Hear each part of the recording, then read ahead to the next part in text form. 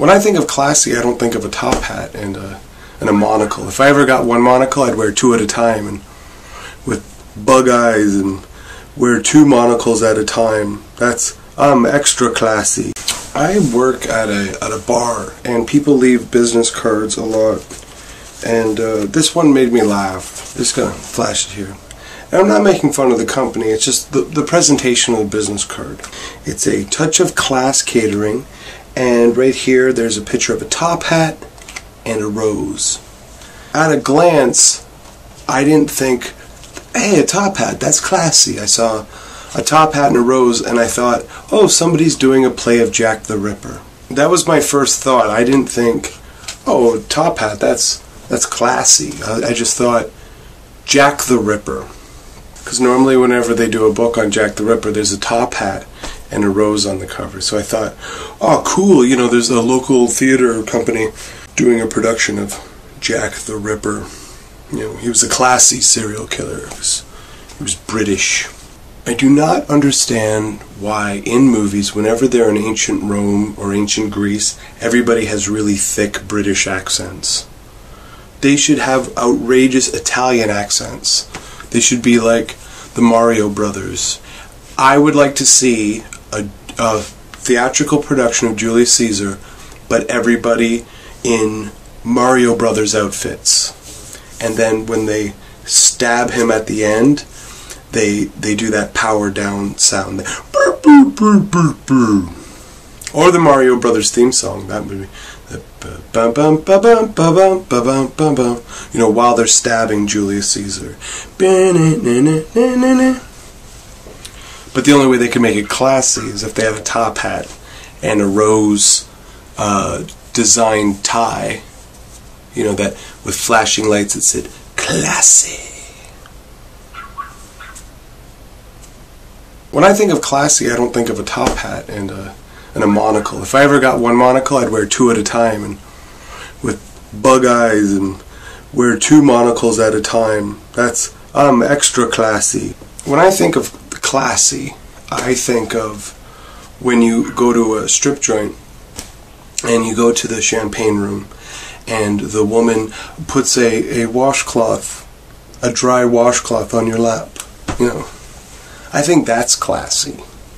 And I say that every time I go to. That's thank you very much. That's very classy.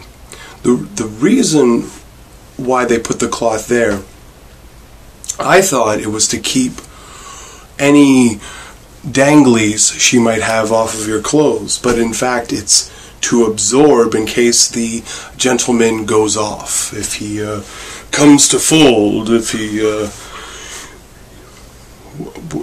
what's another uh, euphemism for ejaculate? For if he, uh, if his John Thomas spits up because he's so happy.